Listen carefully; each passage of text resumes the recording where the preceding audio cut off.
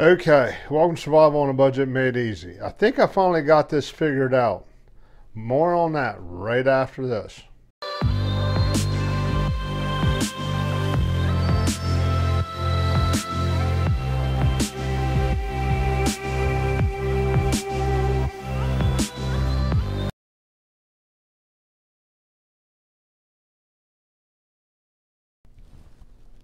Okay, welcome back to Survival on a Budget Made Easy.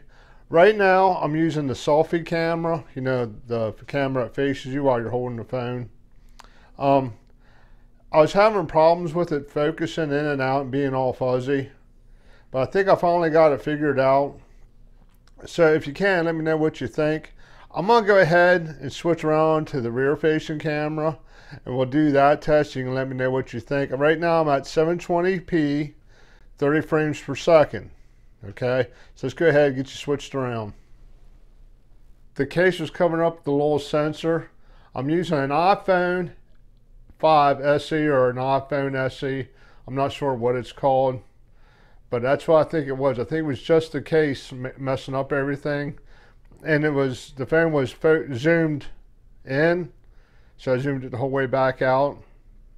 But go ahead, leave a comment down below to let me know how it sounds how it looks, and what you think in general. Or just leave me any other questions.